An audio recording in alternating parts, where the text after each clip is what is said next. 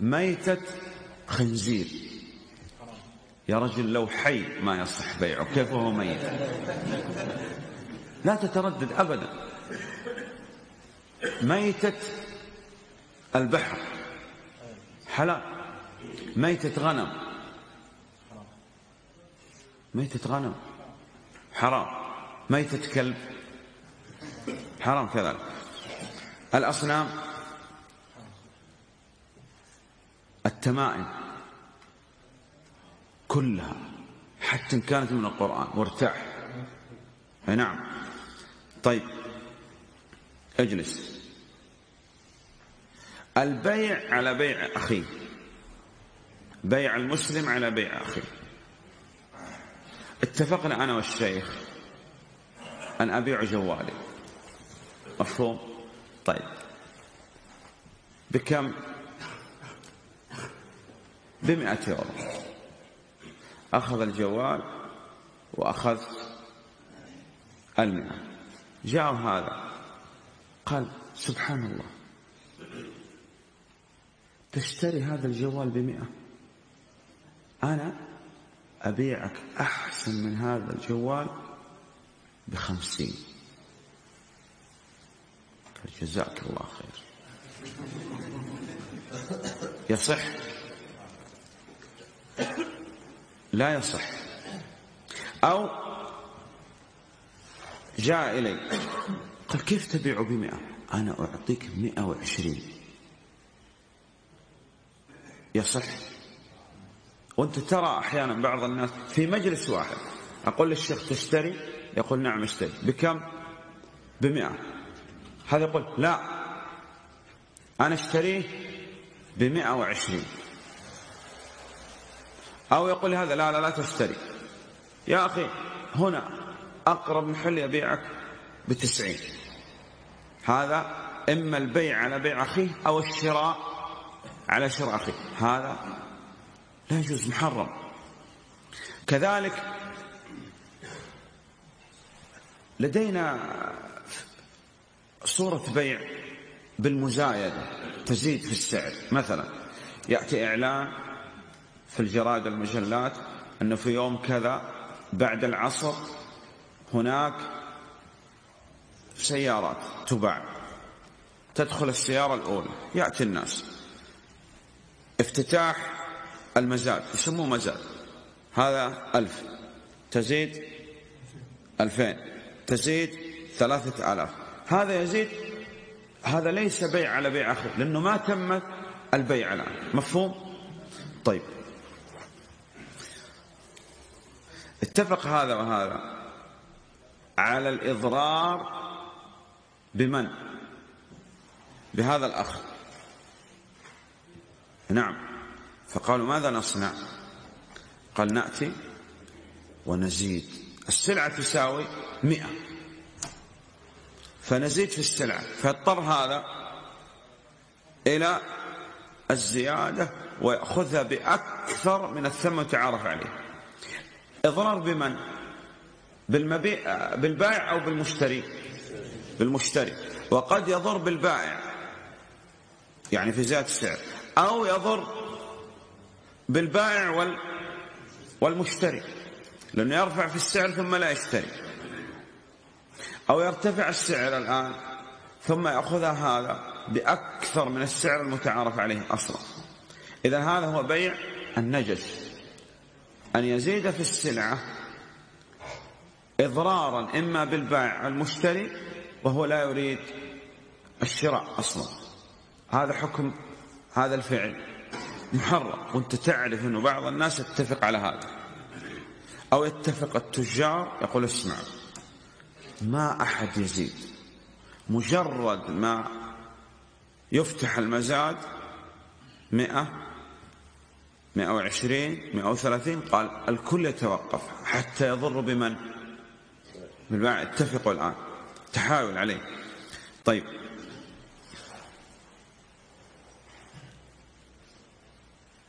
الآن المقامرة. بيع البيض للقمار محرم. العنب لمن؟ يصنع خمر محرم. بيع السلاح. ما حكم بيع السلاح؟ السلاح السلاح. نعم. أسلحة. الأصل الجواز. دائما عندما تسأل عن أي مسألة تقول الأصل الجواز. والذي يدعي التحريم لابد أن يأتي بدليل. جاء إليك رجل وقال الله يرضى عنك. أريد قنبلة. أضعها في مسجد لميرو. حتى نرتاح من الكل. وبخاصة هذا الذي يدرس. يصح أو لا يصح؟ لا ما يصح. أو بيع السلاح وقت الفتنة. حصل تخاصم بين رجلين أو بين قبيلتين وجاءت القبيلة الأولى قال نريد أسلحة. تبيع؟ لا. ما حصل الآن في بعض الدول في بعض الدول. من يعني قتال فيأتي ويمد هؤلاء بالأسلحة. يصح؟ لا يصح. لأنه هذا بيع سلاح أين وقت الفتنة. وانت وقت الفتنة. إذا كان لديك سلاح تكسره. حتى لا تقع في الفتنة. صحيح أم لا؟ أين الفتنة؟ في قتل المسلم. أنت حتى لا يذهب يعني في قتل مسلم. أنت تعرف أنه في بعض البلدان قتل مسلم لمسلم. نعم موجود. وفي بعض البلدان مسلم لكافر هذا الأشكال. ما في عنده إشكال بالشروط اللي يذكرها الفقهاء. نعم اجلس. يبيع السلاح على قطاع الطرق. قاطع طريق. يبيع السلاح. قاطع طريق. طب يشتري من قاطع الطريق السلاح. يا أخي فلان نعرف أنه قاطع طريق ويبيع أسلحة. هل يصح أن نشتري منه؟ سبحان الله أنا ما أريد أن أصنع بالسلاح شيء. أضع عندي للطوارئ يصح ولا يصح؟ إخواننا اشتري من قاطع طريق. أوقف. ليش ما يصح؟ صحيح. نعين على ماذا؟ نعم. ولا تعاونوا على الإثم والعدوان. الآن أنت تتعجب أحيانا. كم يساوي هذا؟ مستعمل. كم يساوي؟ أربعمائة يورو؟ ها؟ أربعمائة يورو؟ لا ما أعرف. طيب. هذا يساوي أربعمائة يورو. مفهوم؟ يأتيك إنسان يقول تشتري بمئة يورو؟ لو قال لك الآن أنا لو أقول لك الآن في المسجد لا يجوز. نعم أعرف لو أقول لك خارج المسجد تشتري هذا بمئة؟ تقول ما شاء الله فرصة ثمينة خذ. هل يصح هذا؟ انتظر.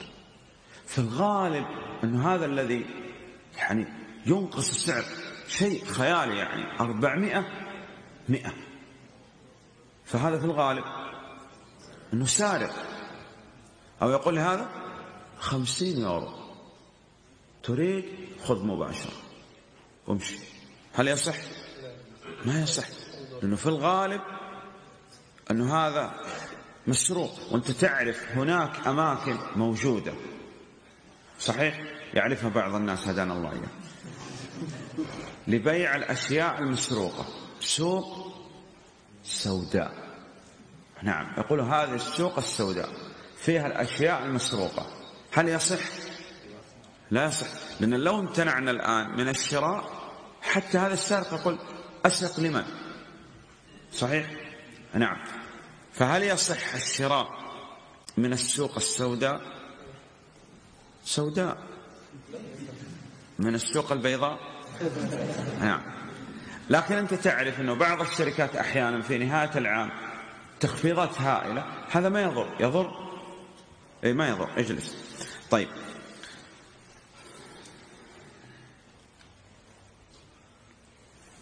عندنا مسألة يكثر السؤال عنها.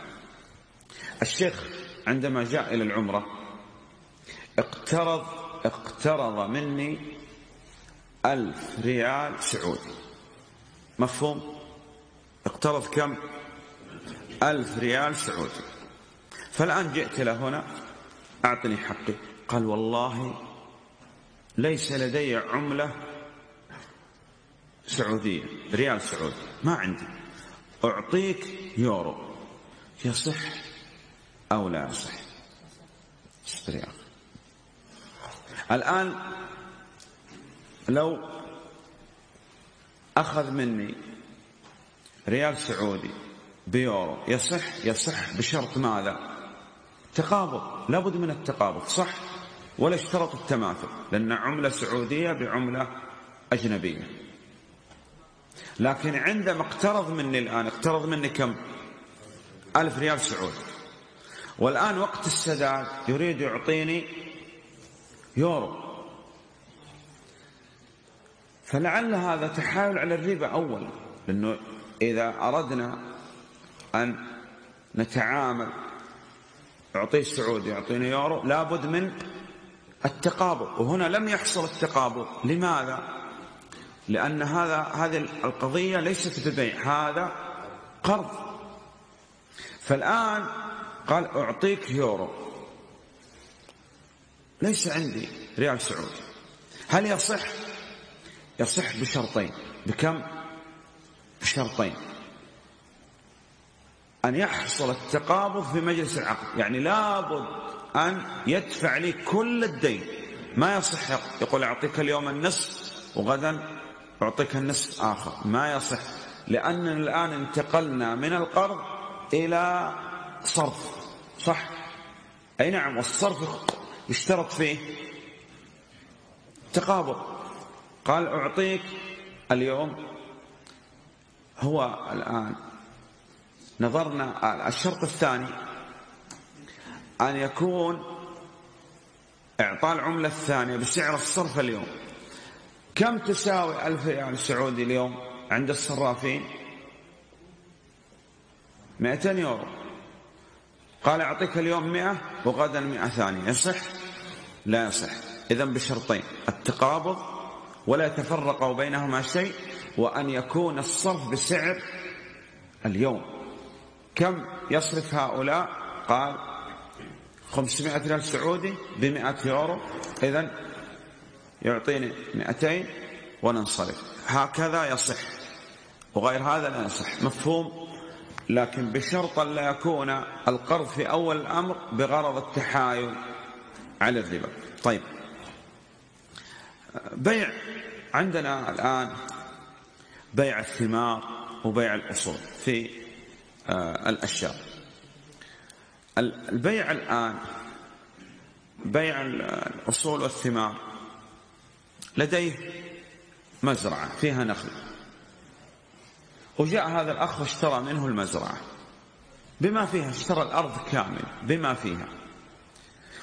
وقت الحصاد جاء هذا البائع وقال الرطب لي. سبحان الله. يصح هذا ولا يصح؟ إخواننا الصورة. هذا لديه مزرعة كبيرة جدا فيها نخل. وهذا الأخ اشترى منه المزرعة. طيب وقت الحصاد جاء البائع وقال التمر لي.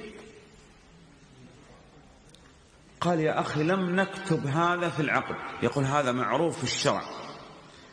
لأن البائع الآن لقح الثمرة. فإذا لقح الثمرة بعد أن تؤبر يعني كانت ملقحة فالثمرة لمن؟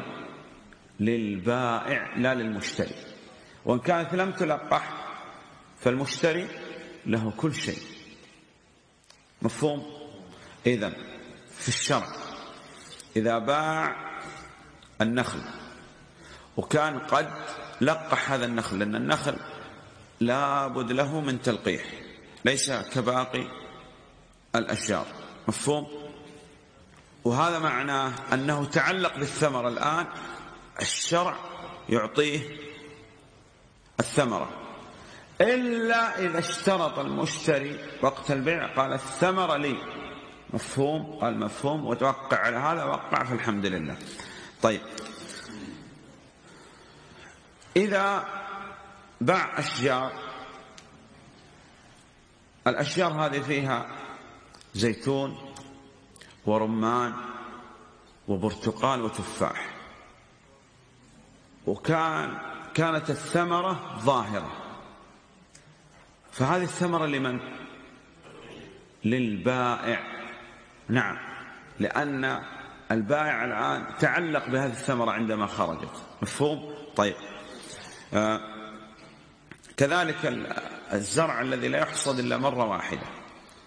نعم. طيب. هل يصح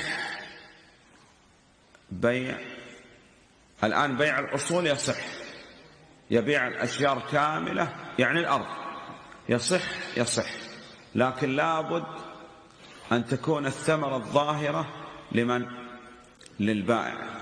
وإذا كان نخل وقد لقح يعني هذه الأشجار النخيل فله التمر. إلا إذا اشترطها المشتري عند العقد. طيب الآن نريد ننتقل إلى أمر آخر. الآن بيع الثمار. بيع الثمار. هل يصح أو لا يصح. ننظر إلى الثمرة. يصح بيع الثمار بعد بدو الصلاح. يعني بعد أن تكون صالحة للأكل. لأنه قبل بدو الصلاح لا يصح البيع. طيب آه، بيع الحبوب. الحبوب كيف نعرف بدء الصلاح فيها؟ نعرف الآن في العنب أنه يطيب للأكل يصبح, يصبح حلو المذاق. وفي بعض الثمار يتغير اللون. صحيح. تغير اللون. يعني الآن الرطب يكون في أول الأمر أخضر ثم هذا يكون أصفر. تغير اللون هنا هذا علامة على بدو الصلاح. الحب كيف يعرف الصلاح؟ يشتد. مثل ما ينفقون في هذه الحياة الدنيا كمثل ريح فيها صر. الصر البرد الشديد. أكثر ما يضر بالحبوب الرطوبة. صحيح. ولذلك تجد النمل الآن إذا دخل شيء من الماء إلى ما هم يعني ادخروه داخل الأرض يخرجوه حتى يجف ثم يدخل مرة أخرى. نعم. طيب. دائما. يعني في الغالب أن الإنسان يتطلع إلى ما في أيدي الآخرين. صحيح؟ فعندما يرى هذا الجوال في يد أخيه يريد أن يمتلك هذا الجهاز. في العادة في البيع أنه دائما يعني في الغالب أن بعض الناس يستعجل أحيانا في الشراء. والبعض يستعجل في البيع. فجعل الله سبحانه وتعالى لنا سعة في البيع وهو ما يسميه الفقهاء بالخيار. مفهوم؟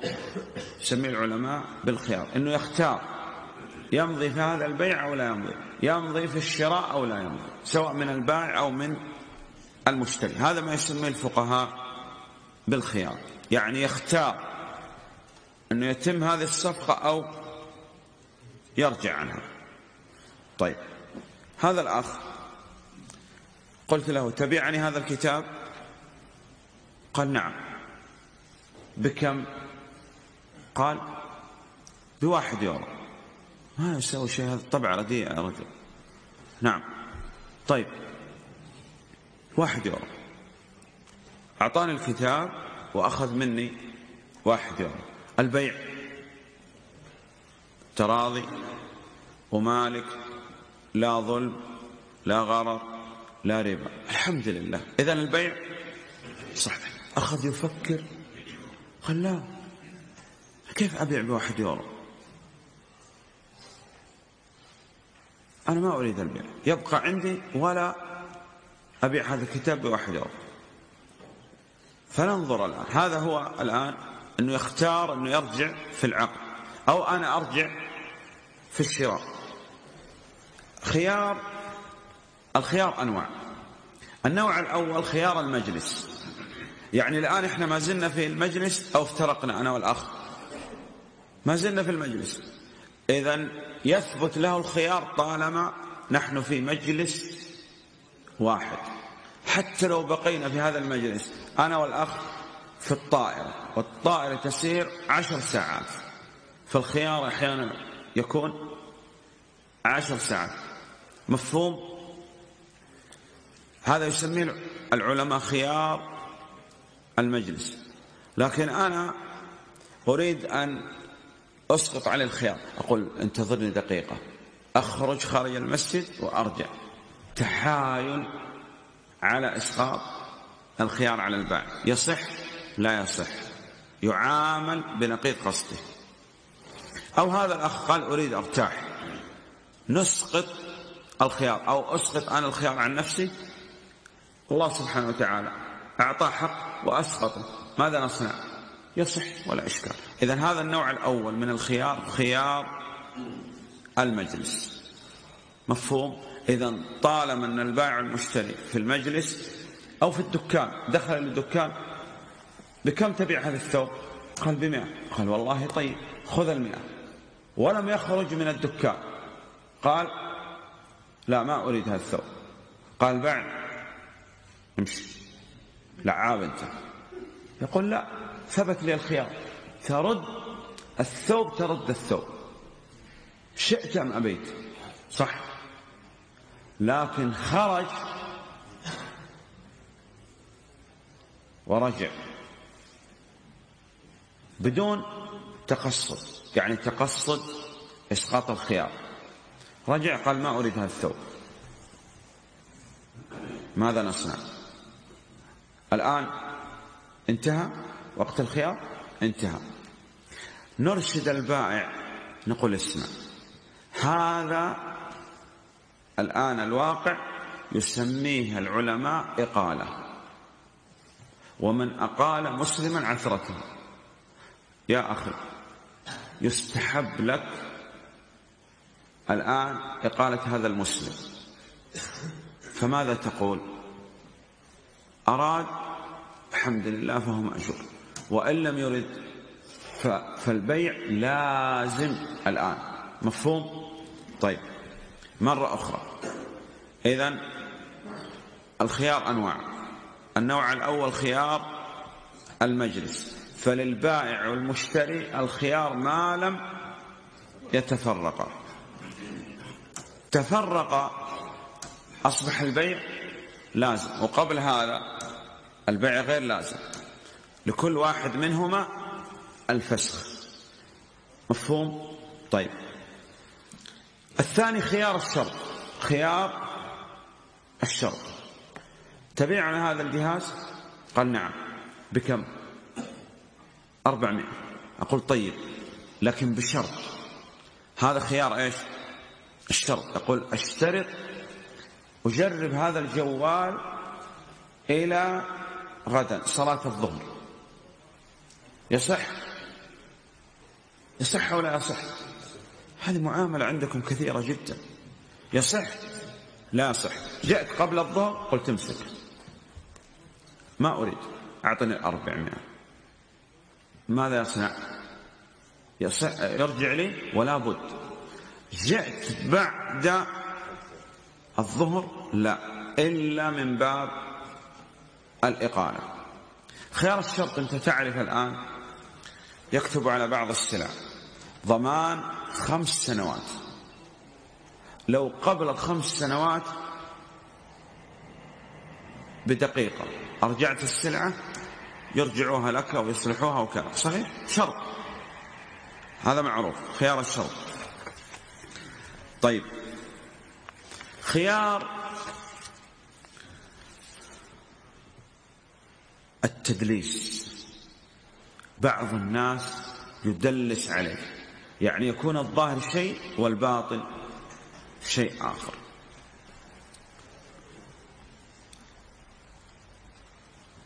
هذا الجهاز ما. هذا الجهاز آه ماركة صحيح؟ آيفون؟ صحيح؟ طيب فالجهاز هذا آيفون. دلس على المشتري وقال هذا آيفون. وكالة وهو صيني. فأخذ هذا هذا لا يعرف في الأجهزة مثلي. اشترى ب 400 وهو لا يساوي 10 يورو. وذهب ونظر في الجوال ونظر في هذا قال هذا هذا الصيني. ليس بماركة مثلا. جاءني وقال أعطني الأربعمائة يورو. أقول لا تم البيع. يصح؟ لا هو دلس علي. والسعر يعني من أربعمائة إلى عشرة. لأنه قد يكون أحيانا تعرف لابد في البيع في ربح. لكن هنا أحيانا يكون الربح في الثمن شيء يعني خرج عن العادة أصلا. مفهوم؟ طيب. وهذا ما يسميه بعض الفقهاء بخيار الغبن. يعني هذا الجهاز يساوي 400 وهذا غريب لا يعرف جاء إلى الحج ولا العمرة ويريد أشتري جهاز. بكم؟ أقول بأربعة آلاف يورو. العرف أربعمائة خمسمائة. هكذا. أربعة آلاف يا رجل. هذا يثبت له الخيار الآن. لماذا؟ لأنه حصل غبن وشيء خارج عن العادة أصلا. أو بزيادة سعر. هو لا يدري هذا عندما حصلت المزايدة. زاد وزاد وزاد وصلت السلعة إلى مئة ألف. وهو لا يعرف ولا يعرف أنه هذا نجش السلعة أصلا ما, ما تساوي خمسين ألف. فاشترى الآن. وبعدين اشترى اتضح له أن هؤلاء اتفقوا ورفعوا في السلعة للإضرار به. يرجعها؟ يرجعها ولا بد. طيب. أو بتلقي الجلب. تلقي الجلب. عندنا أصحاب المزارع يسكنوا خارج المدن. لماذا؟ لأن هناك المزارع أصلا. فيأتي يريد الدخول إلى المدينة حتى يبيع. مثلا الجبن مثلا هنا عندكم جبن. فهذا يقف على الطريق طريق القرى الذي يؤدي إلى المدينة. فيستقبل هذا. يقول عندك جبن؟ يقول نعم. بكم؟ قال والله أنا ما أدري عن السعر لا أعرف السعر. أأتي إلى المدينة وأبيع. قال نشتري منك بعشرة. وهي تساوي كم؟ مئة. فماذا نصنع هنا في هذه الحالة يأتي هذا صاحب الجبن المزارع إلى المدينة وينظر الأسعار. إن أراد إمضاء البيع أمضاه وإلا فسخ البيع. إذا يثبت الخيار الغب بالغبن بأن يغبن برفع السعر بأكثر مما عليه الناس وجرت عليه العادة. أو بالزيادة في السعر لمن لا يريد الشراء أو بتلقي الجلب. خير التدليس ذكرنا أنه يدلس عليه. يدلس عليه أحيانا في بهيمة الأنعام. يترك هذه الماعز يترك الحليب ولا يحلبها. مدة أحيانا يوم كامل أو يومين. فيأتي هذا ويجد هذه ما شاء الله الضرع ممتلئ. فيظن أن هذه الماعز حلو. فماذا يصنع؟ يزيد في السعر الآن. متى يكتشف هذا؟ عندما يحلبها. يحلبها الآن ينتظر ما تمتلئ مثل ما كانت وقت البيع. فيثبت له الآن هنا الخيار. إن أراد فسخ البيع له الفسخ. لكن يعطيه مقابل الحليب ماذا؟ صاع من تمر. مفهوم؟ نعم. طيب.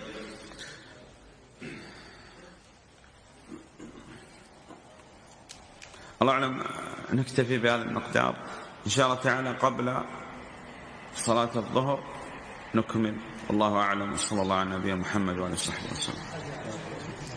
الحادي عشر والنصف إن شاء الله تعالى.